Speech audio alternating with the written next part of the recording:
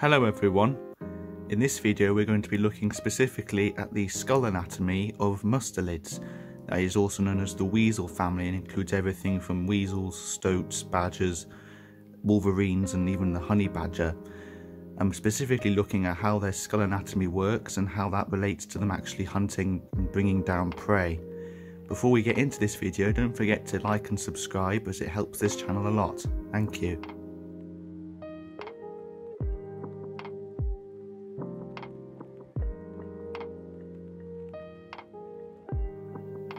So this is the skull of a mink, which is a member of the mustelid family, which I'm sure many people are familiar with.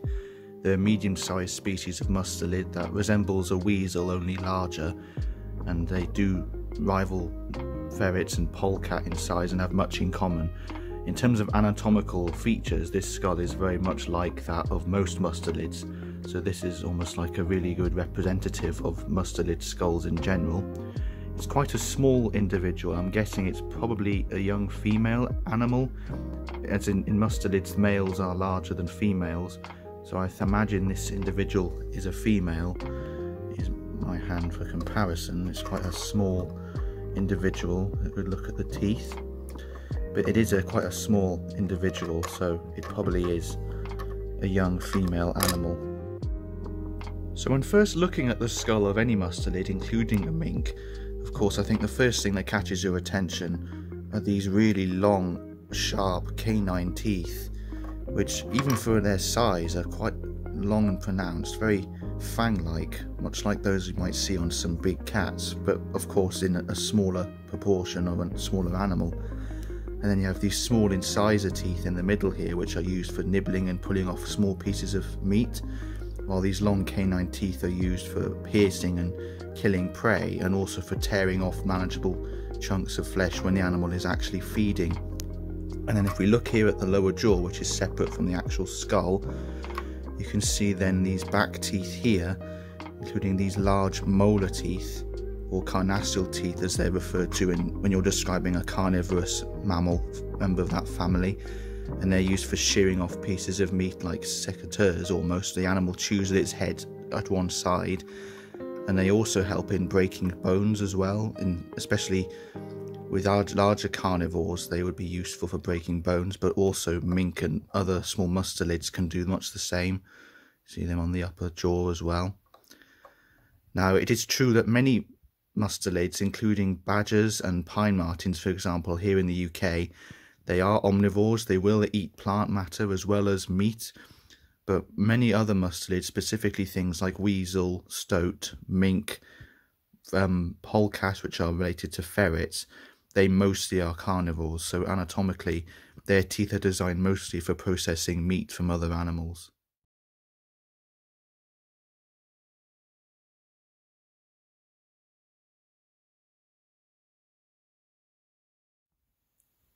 So something about the mustelid family which is very well known is that they have for their size a very powerful bite force.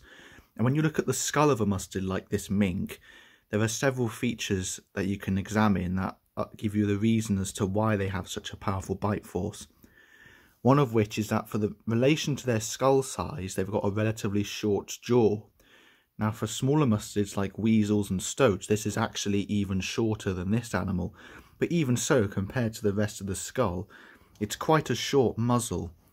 Now, when the animal actually bites down on something, because this jaw is relatively short, the force has less distance to travel. So by the time it ends up where these big canine teeth are, just here, the force is not going to be so reduced because it has less distance to travel. So by the time it makes its way to the teeth, the force will still have quite a lot of energy, which is one of the reasons, if you look at it in terms of physics, why this animal has such a strong bite. Now, the other reason for this animal having such a strong bite is the length of the skull. And you can see for its size, the mink, along with many other mustelids, has a very long cranium. And if you look at the top of the skull here, you can see this ridge that runs along the top of the skull. Now, this is a feature which is seen in many carnivorous mammals, such as dogs and canids and bears, and even in gorillas. And it's called the sagittal crest, which is basically a ridge of bone which acts as an anchor point for very large jaw muscles. And you can see here along the side of the skull, this area here would have been attachment points for large muscles around the orbital sinuses and the and these large areas where the temporalis muscles on this animal would be very well pronounced. So that's another reason why this animal has such a strong bite is because it has a lot of muscle attachments in this area that enable it to generate much higher forces. And of course, another reason, of course, are these teeth, which of course for the size of the animal are particularly long, very long, sharp canine teeth. And if anyone who studied physics knows that force is often a lot greater when you generate it along a smaller surface area. So combining all that we've just discussed, the greater muscle mass on the skull, the relatively short jaws, by the time the force makes its way to these long canine teeth, the force is very concentrated in a precise area. So getting bitten by a mustelid like this mink is especially damaging because of these features and these long canine teeth are very effective weapons. So just to give you an idea of how mustelids like a mink would kill its prey, here is the skull of a grey squirrel, which represents basically the skull of a rodent or other mammal that a mustelid might be attacking. Now, when mustelids like a mink, kill their prey, they often do this classic maneuver where they jump on the back of their prey and they wrap it tightly to their underside by gripping its body with all four limbs and they have sharp claws as well to hold on tightly. And they almost always kill with this method where they bite the back of the animal's skull. Hold on.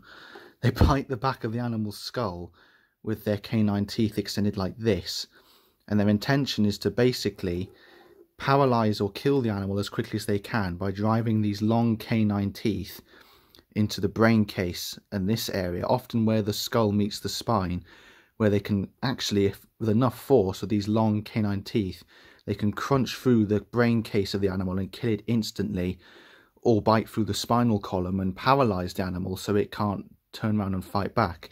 If you haven't noticed, this squirrel itself has got some pretty large incisor teeth of its own, and they are very capable of turning around and biting a mink back if they are attacked.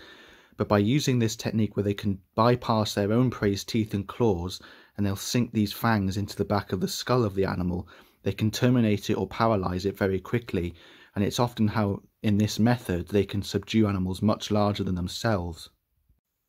Thank you all for watching. I hope you enjoyed this short video talking about the skull anatomy of a mink and other mustelids and seeing how they're such effective little predators. There are more videos like this to come in the future, so until then I shall see you in the next one.